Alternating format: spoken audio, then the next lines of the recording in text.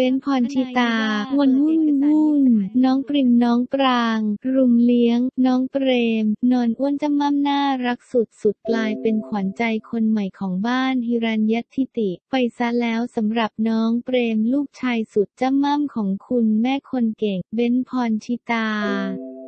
กับคุณพ่อมิกบรมวุฒิแถมล่าสุดคุณแม่เบนก็ยังได้นำเอาภาพความประทับใจในวันวุ่นวุ่นของครอบครัวมาแชร์ลงบนอินสตาแกรม @poincsita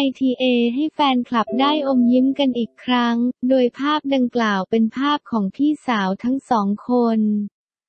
ดังน้องเปรมและน้องปรางขณะกำลังช่วยเจ้าตัวเลี้ยงน้องเปรมที่กำลังนอนกินนมสบายอยู่บนเบาะนุ่มๆแถมทั้งสองสาวก็ยังเฝ้าประคบประงมไม่ห่าง เรียกได้ว่าทั้งเห่อและห่วงน้องชายเป็นที่สุดในขณะที่เบน